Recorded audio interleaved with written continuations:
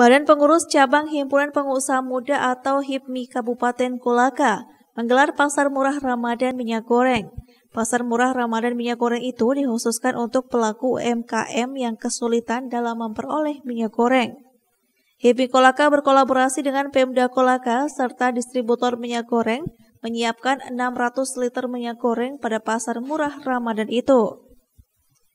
Ketua HIPMI Kabupaten Kolaka Suharto mengatakan harga minyak goreng yang dijual subsidi untuk pelaku UMKM dibanderol dengan harga Rp45.000 per 2 liter.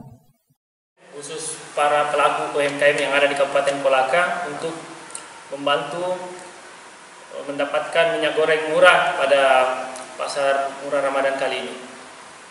Di, di mana pada kegiatan kali ini kita berkolaborasi dengan pemerintah daerah, khususnya Dinas Perindustrian dan Perdagangan kami juga alhamdulillah mendapatkan uh, support dari distributor minyak yang ada di Kabupaten Kolaka.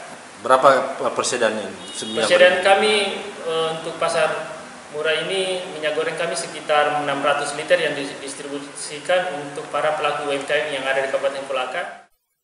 HIPMI Kabupaten Kolaka sekaligus melakukan pendataan kepada sejumlah UMKM untuk difasilitasi memperoleh minyak goreng murah dari distributor. Kontributor Muzakir Asis, Kompas TV Kolaka, Sulawesi Tenggara.